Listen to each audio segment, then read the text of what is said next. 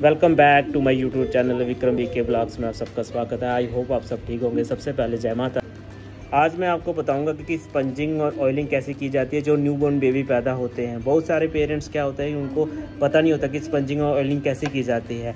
आप मेरी वीडियो के साथ एंड तक बने रहें मैं आपको मिलता मैं आप सबको दिखाता हूँ कि कैसे बेबी को क्लीन की जाती सबसे पहले आपने कॉटन लेना है और थोड़ा हल्का हल्का सा गर्म पानी लेना है। ज़्यादा गर्म नहीं लाइट सा गर्म पानी लेना है और पूरी बॉडी को स्पंज करना है आपने। ये आपके सामने दीपाली सिस्टर जी है, ये आपको करके बताएँगी। आप ये घर में अपने बच्चे को ट्राई कर सकते हो, फिर घर में भी अपने बच्चे को इस तरह से क्लीन कर सकते हो आप।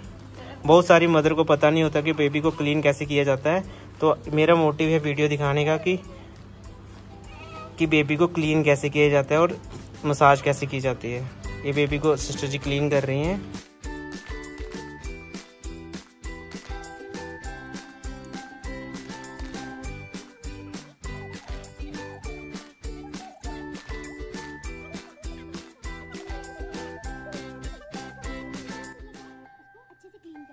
आपने अच्छे से स्पॉन्ज करनी है। कोई ऐसा एरिया नहीं रहना चाहिए जहाँ पे बेबी को स्पॉन्ज ना हो।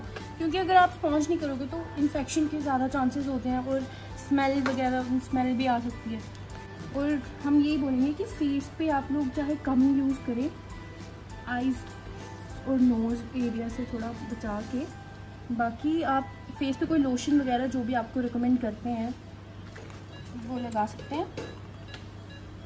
बाकी पूरी बॉडी पे आप कोकोनट ऑयल यूज़ कर सकते हो। ऐसे पूरी बॉडी में ऑयलिंग करनी है और अच्छे से